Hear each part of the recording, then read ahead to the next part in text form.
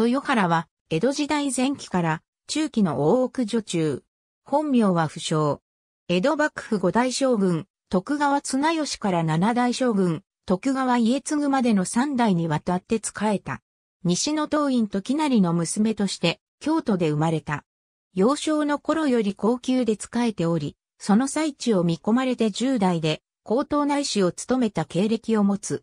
平内史と称し、長らく東山天皇に仕えていたが、後に窒居処分を受けて高級を追われた。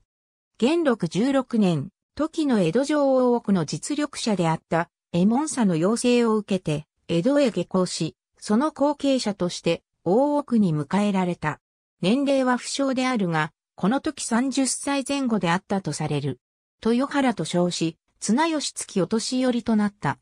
宝永3年にエモンサが没すると、その後を継いで筆頭老女に就任。同6年の綱吉政居後も多くに泊まり、六代将軍、家信、七代将軍、家継と将軍付き筆頭老女を歴任した。聖徳5年3月には、名の野養養女として大奥に迎え入れ、家継聖母、月光院付きの症状老とするなど、県政を保持し続けていたが、八代将軍、吉宗の時代に入ると自責であった時は意に、筆頭老女の座を譲り、大奥から退いた。その後の消息は明らかとなっていない。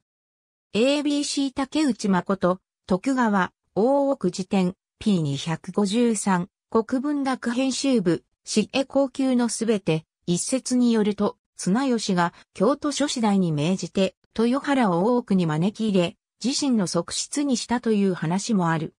宝永6年の文言帳の記録によれば、将軍付き老女の序列は豊原を筆頭に、時は高瀬、富岡、川島の順である。